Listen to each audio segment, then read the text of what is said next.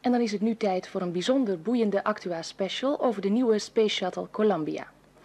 Men verwacht namelijk dat dit ruimtevliegtuig van enorme betekenis zal zijn voor de toekomst van de mensheid. En nog even ter informatie. We vernamen zojuist vanuit Cape Kennedy dat men vanmiddag om 1 uur is begonnen met het overbrengen van deze Space Shuttle naar de lanceerplaats, waar deze precies een uur geleden is gearriveerd.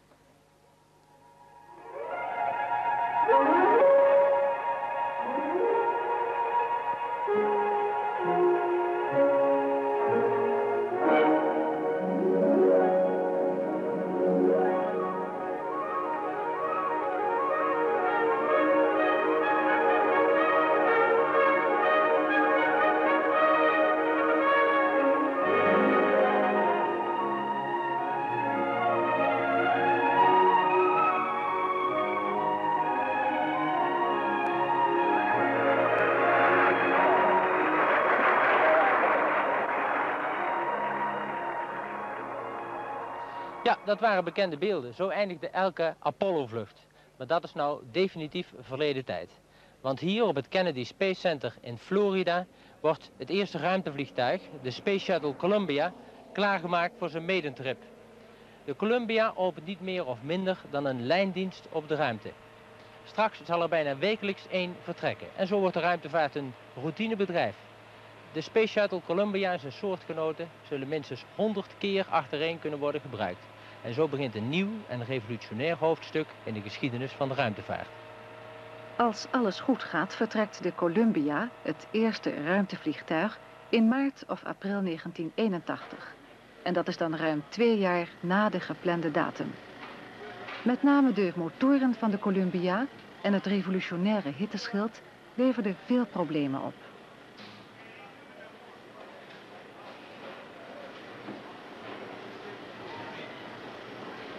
Die motoren verbranden vloeibare waterstof met vloeibare zuurstof. Nooit eerder werd deze energierijke combinatie in zulke krachtige raketmotoren gebruikt. En het is geen wonder dat er wat problemen optraden met brandstofpompen en verbrandingskamers.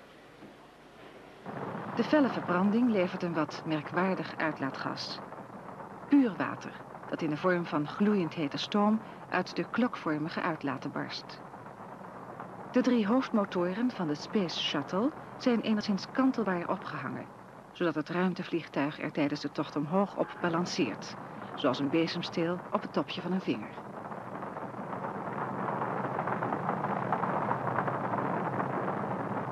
Tot nu toe hadden ruimteschepen een eenmalig bruikbaar hitteschild dat het toestel beschermde tegen de oververhitting die optreedt als het met een vaart van 27.000 km per uur in de dampkring terugkeert.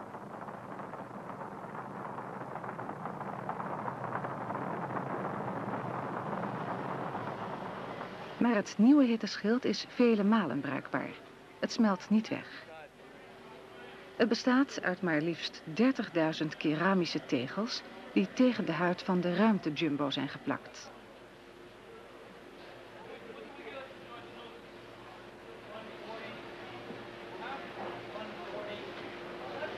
Dat plakken bleek een groot probleem dat nu eindelijk is opgelost.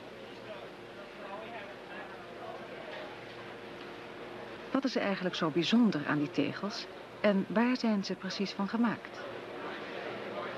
De hittebestendige tegels van de Columbia zijn inderdaad van een zeer bijzonder materiaal. Het is erg licht.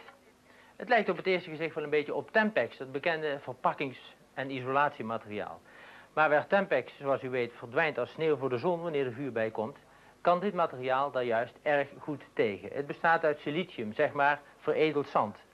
Maar dan is het zodanig gemaakt dat het voor bijna 100% uit holtes bestaat. En op die manier kan het zijn hitte heel snel weer afgeven aan de omringende lucht. We hebben er twee varianten van aan de Space Shuttle. In de eerste plaats een variant met een wit oppervlak. Die wordt gebruikt hier aan de bovenkant waar de temperaturen niet zo vreselijk hoog worden tijdens de terugkeer, zo'n 700 graden Celsius. En bovendien hebben we dan het materiaal met het zwarte oppervlak, dus koolstof, dat zwarte. En dat zit aan de onderkant in wat we dan gewoonlijk het eigenlijke hitteschild noemen. En dat hitteschild wordt 1300 graden heet. Om u nou eens te laten zien hoe bijzonder dit materiaal is, ga ik eens een blokje rood gloeiend verhitten. En dan zullen we eens kijken hoe dat eruit ziet.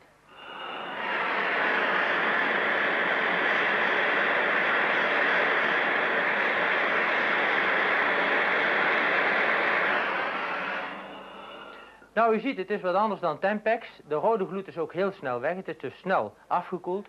Ik heb natuurlijk veiligheidshalve even een tang gebruikt, terwijl ik het aan het verhitten was. Maar ik kan het nu alweer met de blote hand oppakken. En het is dit bijzondere materiaal dat ervoor gezorgd heeft dat het Space Shuttle project twee jaar later van start gaat dan aanvankelijk in de bedoeling lag. Vertragingen zoals die nu zijn opgetreden zijn vrij normaal bij het starten van zo'n totaal nieuw project.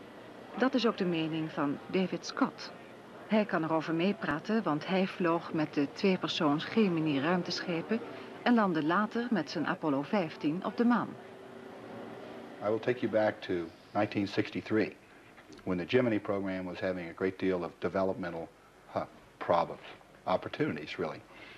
When I went into the space program, shortly before I went to Houston, there was an article in Time magazine about how uh, unhappy people were and the troubles with Jimmy and was it ever going to fly and Mercury was just a fluke. Every program has its developmental problems. That's why it's a developmental program. The space shuttle was funded at a very low economic level. And because of that, it's had its share of developmental problems. I don't think it's bad management. I think it's just the growth curve to understand a new machine, something that we knew was stretching the state of the art. In other words, we were developing new advanced technology. We weren't using the old technology. So I would expect to have a growth problem, if you will. Ja, en die oude technologie staat nu te kijken in zo'n typisch museum van de 20e eeuw hier op Cape Kennedy. Deze raketten speelden tot voor kort de hoofdrol. Wegwerpraketten, maar één keer bruikbaar. Gisteren nog waren ze het summum van menselijk vernuft en vandaag scharen ze zich in de rijen van oude locomotieven en paardentrams. One of the biggest, most powerful precision machines ever conceived and built.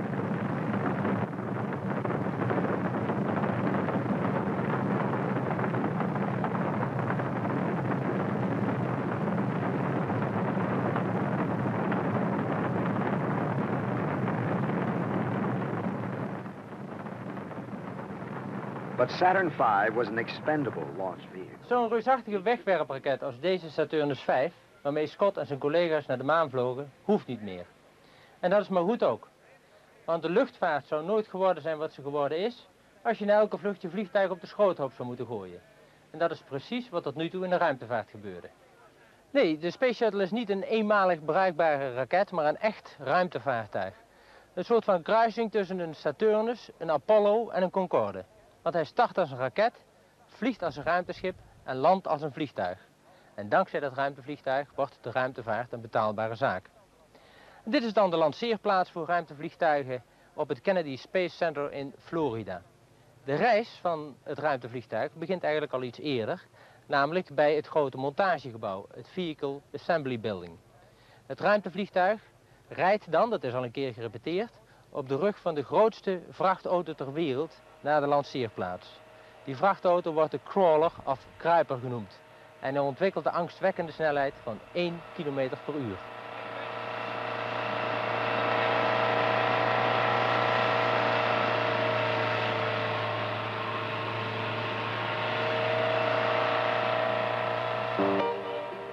En zo gaat in het vervolg een vlucht van de Columbia en zijn soortgenoten eruit zien. Bij de start op de Cape staat de Space Shuttle gekoppeld aan een enorme tank met vloeibare brandstof. Aan weerszijden daarvan zijn twee opduwers gemonteerd. Dat zijn raketten die op vaste brandstof werken. Bij het vertrek brullen er vijf motoren. Drie van het ruimtevliegtuig zelf en twee van de opduwers.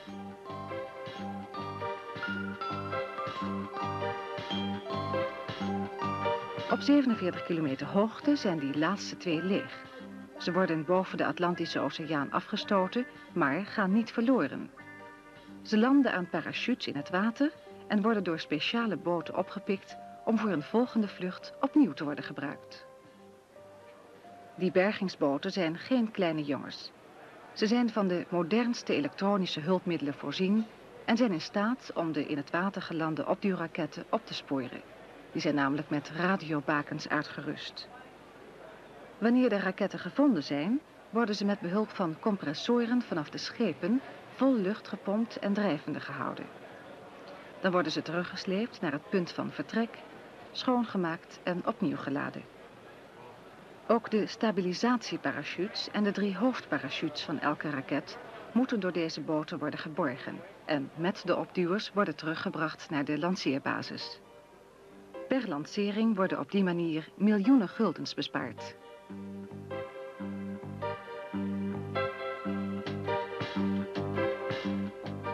Intussen vliegt de shuttle zelf steeds hoger en sneller, daarbij in hoog tempo de brandstof uit de grote tank verbruikend.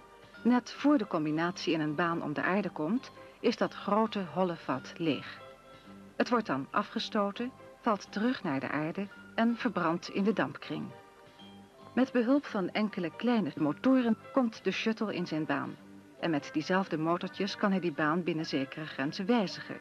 Hoewel het toestel voorbestemd is om altijd in een betrekkelijk lage baan, hooguit enkele honderden kilometers, te blijven. John Young en Bob Crippen zijn de twee astronauten die de Columbia voor het eerst naar de ruimte zullen brengen. Hun training is in volle gang. John Young is veteraan van het Gemini en het Apollo-tijdperk en Bob Crippen is een nieuweling. Ze hebben zich intussen tot en met vertrouwd gemaakt met het nieuwe ruimteschip. In zogenaamde droogvliegers, linktrainers, hebben ze een groot aantal nagebootste vluchten gemaakt. Deze toestellen zijn zo perfect dat de vlucht tot in de kleinste details kan worden geïmiteerd. Ook hebben John en Bob zich in de afgelopen maanden grondig voorbereid op alle denkbare tegenslagen en noodsituaties die zich op de grond en in de ruimte zouden kunnen voordoen.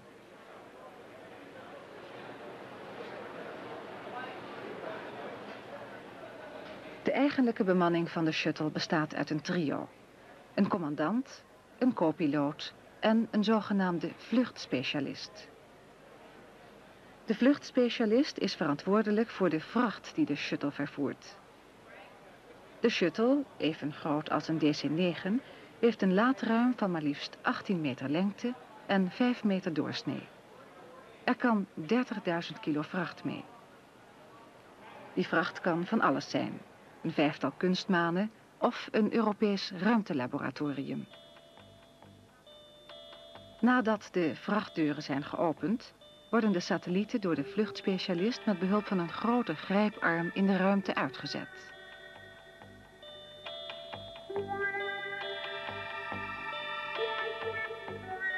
Het in Europa gebouwde Space Lab blijft in het ruim, terwijl de deuren openstaan zodat de wetenschappers naar buiten kunnen kijken en hun waarnemingen kunnen doen.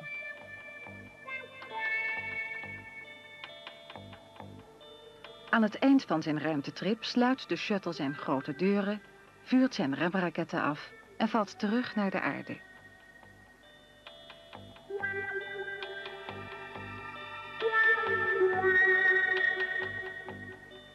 In de dichtere lagen van de dampkring wordt het hitteschild rood gloeiend.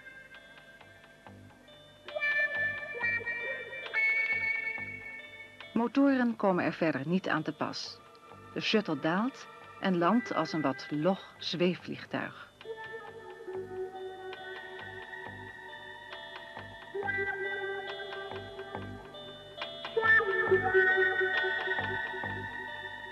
Die landingen werden al geoefend. Het ruimtevliegtuig werd daarbij door een jumbo eerst op een hoogte van 8 kilometer gebracht en toen losgelaten. Er zijn straks twee landingsplaatsen beschikbaar. Eén aan de Amerikaanse westkust, Californië, en één hier aan de oostkust bij Cape Kennedy, Florida. En hier ligt die liefst vijf kilometer lange baan al geduldig te wachten op het ruimtevliegtuig. Niet ver van het gebouw waar dat toestel na elke vlucht weer klaargemaakt wordt na de landing om opnieuw de ruimte in te gaan. In diezelfde grote hallen waar eens de maanraketten optorenden, wordt dan de shuttle nagezien, geladen, opnieuw uitgerust met hulpraketten en een grote brandstoftank.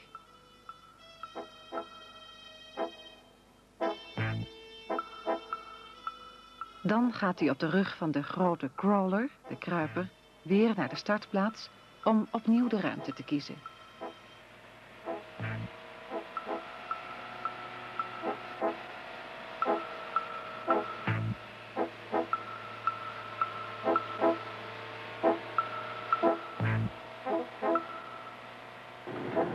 Staat als een paal boven water dat de Space Shuttle een ware revolutie teweeg brengt in het bevaren van de ruimte. Het toestel zal zeker tien jaar kunnen worden gebruikt en het nu nog bestaande verschil tussen onbemande ruimtevaart enerzijds en bemande ruimtevaart anderzijds doen verdwijnen. Want als ware vrachtvaarders van de ruimte zullen de piloten daarboven zowat alles uitzetten wat daar terecht moet komen. Maar de betekenis van de shuttle gaat veel verder. De echte grote besparingen zitten niet in het transportmiddel, maar in de vracht. Kunstmanen die met de shuttle omhoog gaan, kunnen aanmerkelijk eenvoudiger zijn dan tot nu toe.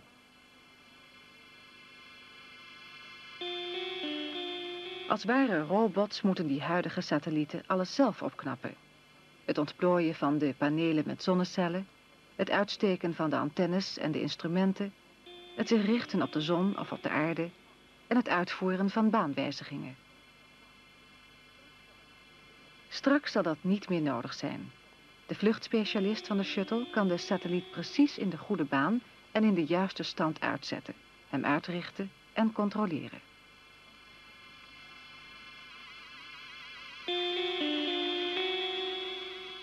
Bovendien kunnen kunstmanen die met de shuttle worden gelanceerd uit veel goedkopere onderdelen worden gemaakt.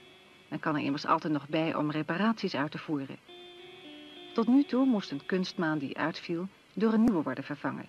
Je kon er niet eenvoudig even naartoe voor een reparatie. In het komende shuttle-tijdperk wordt die situatie heel wat gunstiger.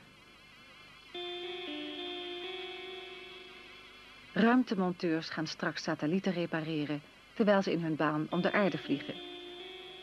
De kunstmanen zullen daarop ook berekend zijn. Vitale systemen zullen volgens het blokkendoosprincipe worden uitgevoerd, zodat een astronaut ze simpelweg kan verwisselen.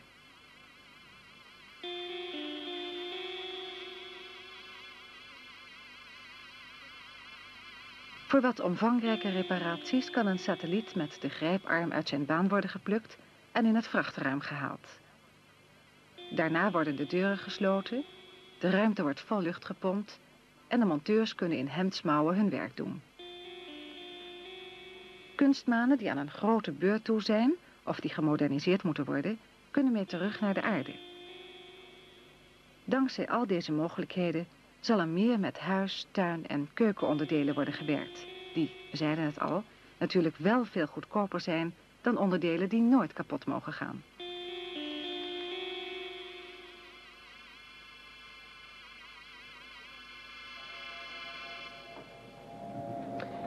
Zoals gezegd, de Space Shuttle kan alleen maar opereren in betrekkelijk lage banen dicht bij de aarde. En zelfs de typische baan voor een communicatiesatelliet op 36.000 kilometer hoogte is voor dit voertuig te hoog gegrepen. Maar geen nood. De shuttle heeft, zoals u ziet, een geweldig laadruim. En daarin kan hij een kleine raket meenemen, waar dan een satelliet op wordt gemonteerd, die dan naar de maan of naar een hoge baan om de aarde of naar een van de planeten kan vliegen. De vlucht verloopt dan als volgt. De shuttle start met zijn last, komt in die tamelijk lage baan om de aarde. Vrachtdeuren gaan open en met behulp van een grote mechanische arm wordt die raket met die satelliet buiten de deur gezet. De piloten manoeuvreren het toestel dan tot op een veilige afstand en ontsteken radiografisch de motor van die raket die dan met die satelliet naar zo'n hoge baan vliegt of naar de maan of naar een van de planeten. Dankzij de shuttle zal de ruimtevaart ook een bedrijf met veel minder risico's kunnen worden. Ruimtevliegtuigen zullen in noodverkerende bemanningen kunnen overnemen. Maar ook het ongewenst neerstorten van kunstmanen kan nu voortaan worden voorkomen. Voor Skylab, het 90 ton wegende Amerikaanse ruimtelaboratorium... dat in juli 1979 terugviel naar de aarde, kwam de shuttle te laat. Maar het zal nog wel vaker voorkomen dat het wenselijk is een balorige satelliet terug te halen naar de aarde. Met name ook kunstmanen, die bijvoorbeeld radioactief materiaal aan boord hebben. Wanneer het terugvallen van zo'n kunstmaan op de aarde ongewenst is, kan de bemanning van het ruimtevliegtuig de satelliet juist in een hogere baan brengen, zodat hij niet meer, zoals Skylab, kan worden afgeremd door de atmosfeer. Zelfs kunnen zulke satellieten met behulp van een kleine raket naar de zon worden geschoten. De zon is tenslotte één grote kernreactor en een beetje meer of minder radioactief materiaal maakt daar niet uit. Het ruimtevliegtuig zelf zal ook een belangrijk werkplatform zijn waar allerlei nuttig onderzoek kan worden gedaan. Dat zal dan voorlopig vooral gebeuren in dit zogenaamde Space Lab. Een ruimtelaboratorium dat in Europa wordt gebouwd. En in dat Space Lab zullen ook Europese astronauten kunnen werken. Er zijn momenteel drie van die zogenaamde euronauten in opleiding. En een van hen is Dr. Wubbo Okkels uit Groningen. Samen met Amerikaanse collega's zal hij straks bezig zijn in dit unieke lab op hoog niveau. Tijdens de hele vlucht zal Space Lab in het vrachtruim van de shuttle blijven. Want voor gas, water en elektriciteit is het aangewezen op de voorraden van het ruimtevliegtuig.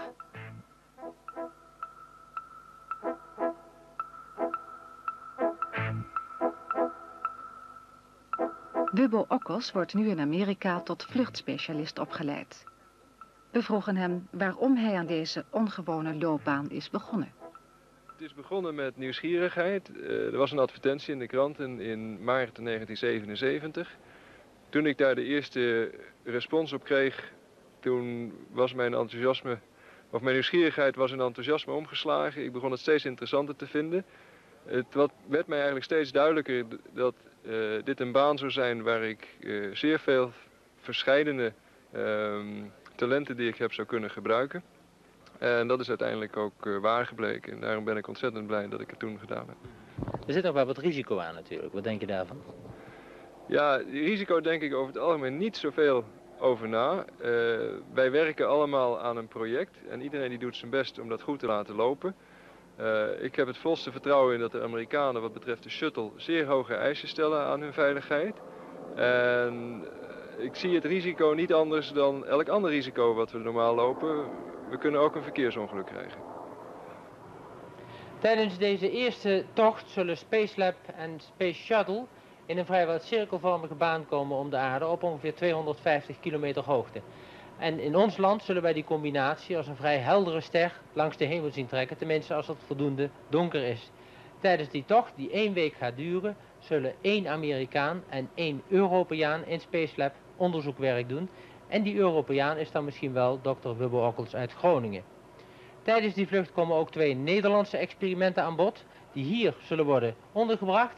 Eén experiment behelst het gedrag van vloeistoffen in gewichteloze toestand is bedacht door het Nationaal Lucht- en Ruimtevaartlaboratorium in Amsterdam. Het andere experiment gaat over het gedrag van gietijzer tijdens de stolling. En dat experiment is afkomstig van de TH in Delft. Ook vrouwen zijn intussen in opleiding tot vluchtspecialist hier in Houston. Een van hen is dokter Anne L. Fischer, arts en vrouw van een arts, die overigens na haar tot de astronautenopleiding werd toegelaten. Na de Russin Valentina Tereshkova wordt Anna een van de eerste Amerikaanse vrouwen in de ruimte. Wat heeft haar in hemelsnaam bewogen tot deze carrière op hoog niveau? I think that man needs something to dream about. Uh, we've explored our world fairly thoroughly. I realize that the ocean's remaining, that the net three quarters of our world, but there's really just two frontiers left, the ocean and space. And I really feel that there are whole new frontiers and man needs that, and I'd like to be part of that effort. Lang niet altijd zal de Space Shuttle een Space Lab in zijn grote laadruim hebben. Meestal zullen hier satellieten van diverse pluimage staan opgesteld, klaar om in de ruimte buiten de deur te worden gezet. Verscheidene van die kunstmanen zullen ook op ons dagelijks leven een grote invloed hebben. Een voorbeeld. Sinds in 1960 de eerste weersatelliet werd gelanceerd, is er een revolutionaire ontwikkeling op gang gekomen in de meteorologie. Weersverwachtingen zijn veel trefzekerder geworden. Verwachtingen op langere termijn zijn tot de mogelijkheden gaan behoren. Het bekijken van de aarde vanuit satellieten maakt het mogelijk het weer te zien aankomen.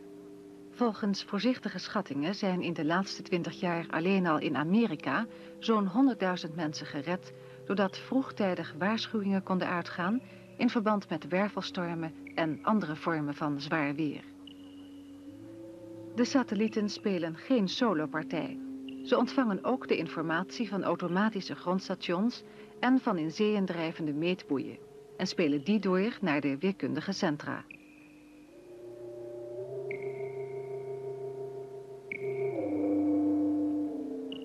Er is een intensief samenspel tussen weerkunstmanen, weerstations en weervliegtuigen. Op die manier ontstaat een weerkaart van de aarde die vrijwel geen witte plekken meer vertoont. Met het ruimtevliegtuig zullen in de nabije toekomst steeds grotere weerkunstmanen in de ruimte worden gebracht. En straks wellicht ook weer bemanden. Zo werden vanuit dit Skylab meteorologische waarnemingen gedaan. En weerkundigen kunnen vanaf zo'n logeplaats, want dat mag ik wel noemen, geweldig grote stukken van de aarde overzien, kunnen uitmaken welke gebieden op een bepaald moment het meest interessant zijn en daar dan hun camera's en instrumenten op richten.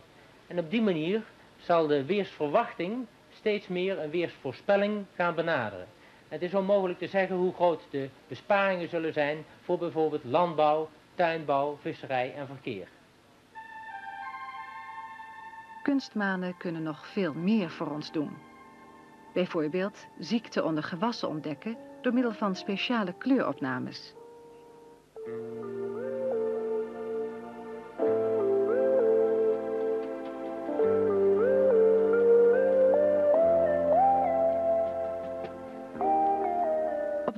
Kunnen ook concentraties vis in de oceanen worden opgespoord. In het algemeen door na te gaan, en kleine kleurverschillen tonen dat aan, waar de meeste plankton in het water zit. De opnamen kunnen direct draadloos naar de aarde worden gezonden. Een satelliet werkt veel effectiever dan een vliegtuig als het erom gaat op korte termijn grote gebieden te inventariseren. Vanuit de ruimte is in een paar dagen te fotograferen waarvoor je met een vliegtuig jaren nodig zou hebben. De mogelijkheden van kunstmanen voor de landbouw en de economie beginnen nu pas duidelijk te worden. Zo is er al een bescheiden begin gemaakt met het voorspellen van oogsten aan de hand van satellietfoto's. Nieuwe, voor landbouw geschikte gebieden kunnen aan de hand van dergelijke opnamen worden opgespoord, net als waterwindgebieden.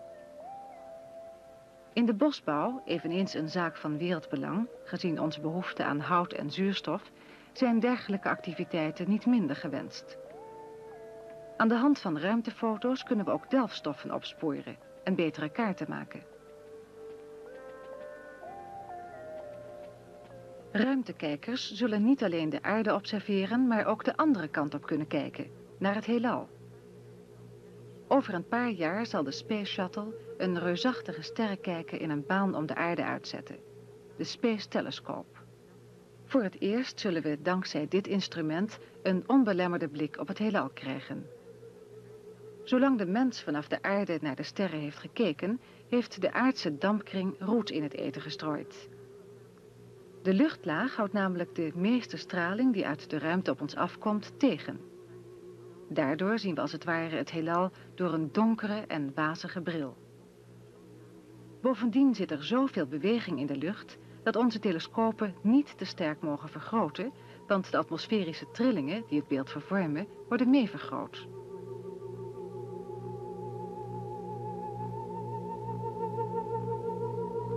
Van dit alles heeft de Space-telescoop in de ruimte geen last. Hij zal ongehinderd planeten, sterren en sterrenstelsels kunnen fotograferen. De afbeeldingen zullen naar de aarde worden geseind. De Space-telescoop zal sterren kunnen waarnemen die 50 keer zo zwak zijn als die sterren die we vanaf de aarde nog maar net kunnen waarnemen. Met dit vernuftige instrument zullen we daardoor zeven keer verder het heelal in kunnen kijken dan tot dusver. Alle afbeeldingen, ook die van de planeten in ons eigen zonnestelsel, zullen tien keer zoveel details tonen als we gewend zijn. Zeer waarschijnlijk zal de Space-telescoop ons in staat stellen voor het eerst planeten bij andere sterren als onze eigen zon te ontdekken. Daarmee zal dan het bewijs zijn geleverd van de theorie dat planeten een normaal bijproduct zijn van de vorming van een ster en dat er elders in het heelal volop bewoonde planeten zijn. Zeer waarschijnlijk zal de ruimtetelescoop een revolutie in ons wereldbeeld teweegbrengen. Mensen, dieren en planten zijn in de ruimte ook onderwerp van onderzoek.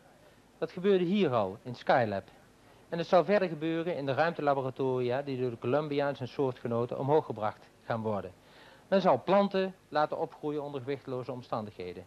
Maar ook dierlijk leven zal aan bod komen. Men zal embryo's tot ontwikkeling laten komen En zo zal men meer inzicht krijgen in de fundamenten van alle leven op aarde dat zich tot nu toe altijd onder invloed van de zwaartekracht heeft ontwikkeld. De mens zelf is nog een groot vraagteken. Zijn er grenzen aan de duur van het menselijk verblijf in de ruimte? En zo ja, waar liggen die dan? Op die vraag moet een antwoord komen.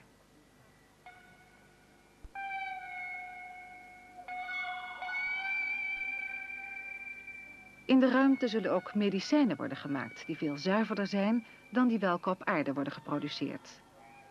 Dat komt door het volkomen steriele milieu aan boord van de ruimtefabriekjes en de afwezigheid van de zwaartekracht, waardoor betere productiemethodes mogelijk zijn. Onbesproken zijn tot nu toe de militaire toepassingen van het ruimtevliegtuig, die zeker niet verzwegen mogen worden. Voor de militaire vluchten wordt een speciaal lanceercomplex gebouwd op de basis Vandenberg in Californië. Nu al zijn grote satellieten van het Pentagon in staat te signaleren of u uw grasmachine in de tuin hebt laten staan. Zo gedetailleerd zijn de foto's. Door dit soort kunstmanen kunnen Amerikanen en Russen over en weer vaststellen of ze zich aan gemaakte afspraken voor wat betreft ontwapening houden. Geen wonder dat een belangrijk deel van de shuttlevluchten gereserveerd zal zijn voor het Amerikaanse ministerie van Defensie.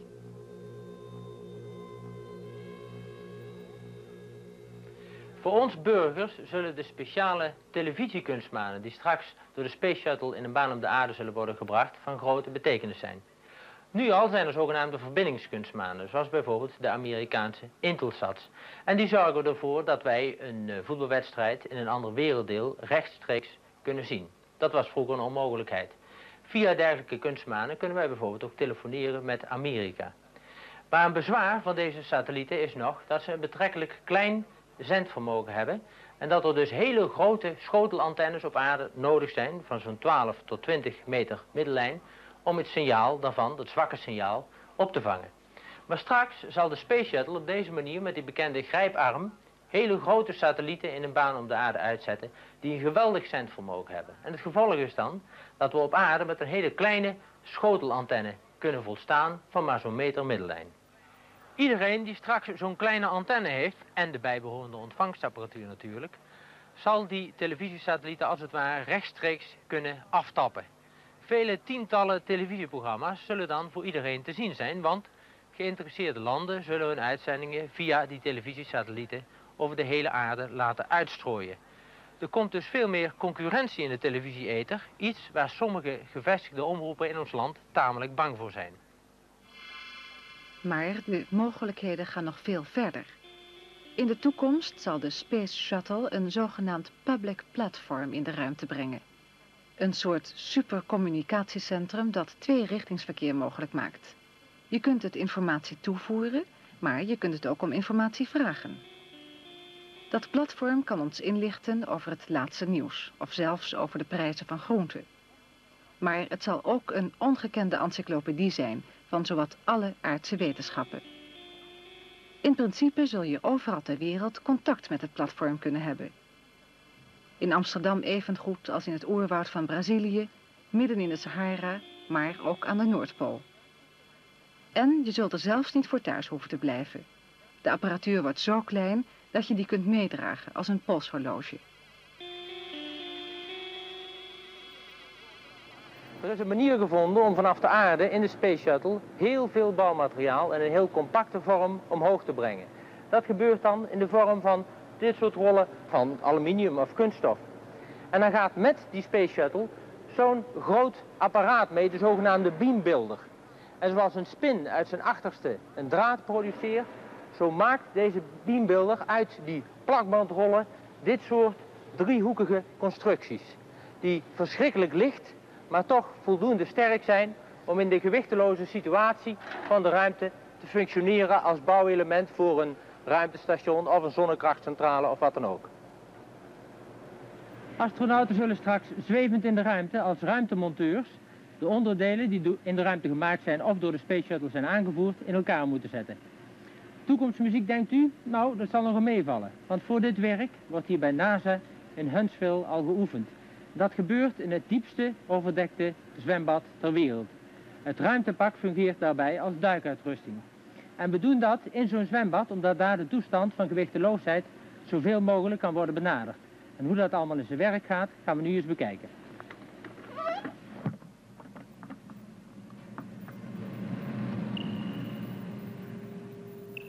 Onder water kunnen zowel stukken van het laadruim van de shuttle als onderdelen van een te bouwen constructie door de zwevende astronauten worden gehanteerd. Zulke bouwtechnieken, die hier tot in alle details worden uitgewerkt en geoefend, openen een heel nieuw hoofdstuk in het boek van de mogelijkheden van het ruimtevliegtuig.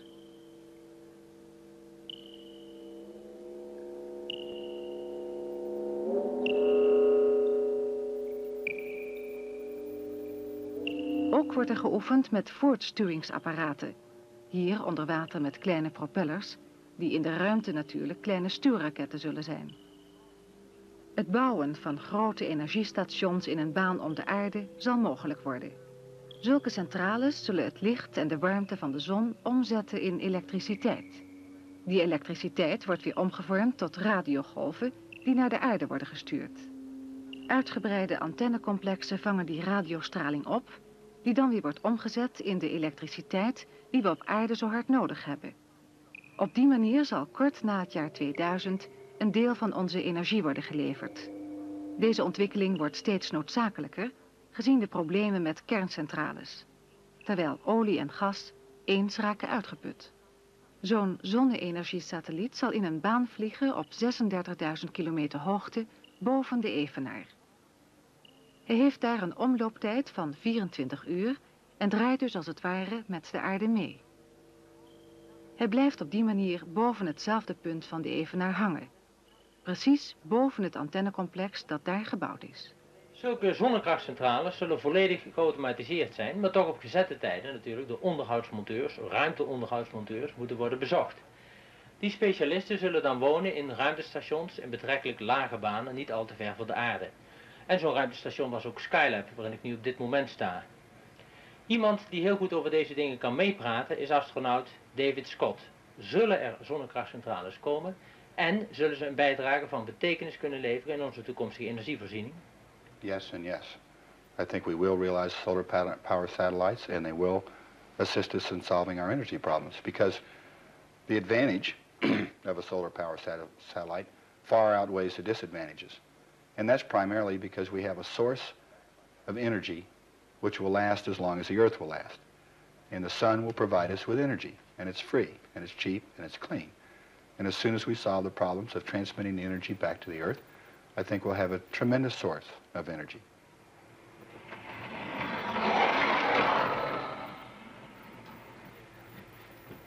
Zijn toenemende activiteiten ver buiten de aarde zullen de mens dwingen zich ook met er woon in de ruimte te vestigen. Ruimtestations zullen steeds groter worden, steeds meer mogelijkheden moeten bieden, ook op het gebied van comfort en recreatie.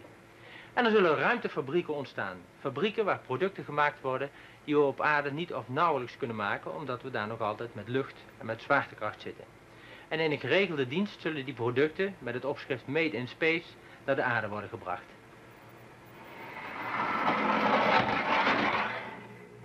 In een later stadium zullen lijndiensten op de maan worden geopend met speciale raketten, onder andere om daar maanerts te winnen. Dankzij de Apollo-vluchten weten we dat we op de maan vrijwel alles kunnen vinden wat we nodig hebben. Dat maanerts zal ons in staat stellen in de ruimte complete dorpen en steden te bouwen, want het kost veel minder moeite om erts vanaf de maan te lanceren dan vanaf de aarde. De zwaartekracht op de maan is immers veel minder dan bij ons. In ruimtefabrieken zal het erts worden verwerkt tot aluminium, ijzer, glas, noem maar op. Met die ingrediënten zullen ruimtedorpen worden gebouwd die bijvoorbeeld 10.000 mensen kunnen huisvesten. Ze zullen ruwweg de vorm hebben van een wiel of van een cilinder en langzaam ronddraaien, zodat door het centrifuge-effect kunstmatige zwaartekracht ontstaat. Zoals het wasgoed in de trommel van uw centrifuge tegen de wand gaat kleven, zo zullen de bewoners van de ruimtedorpen van de toekomst met hun voeten tegen de vloer gedrukt worden, om niet meer steeds gewichtloos te hoeven zijn.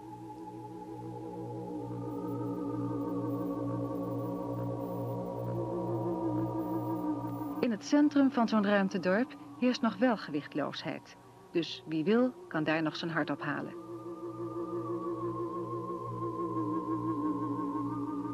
Mogelijk zullen er zelfs ruimtefilialen van de aarde komen met 100.000 of meer inwoners. Allemaal mensen die hun boterham verdienen in de nieuwe wereld van onze tijd, de ruimte.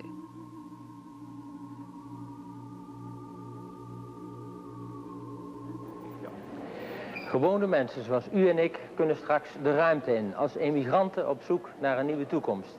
De Space Shuttle is de eerste en belangrijkste schakel naar deze toekomst. Een systeem waarvan bijna alle elementen steeds opnieuw bruikbaar zijn. Maar zo rond het einde van deze eeuw, en dat is al over 20 jaar, zal de opvolger van de Space Shuttle zich hebben aangediend.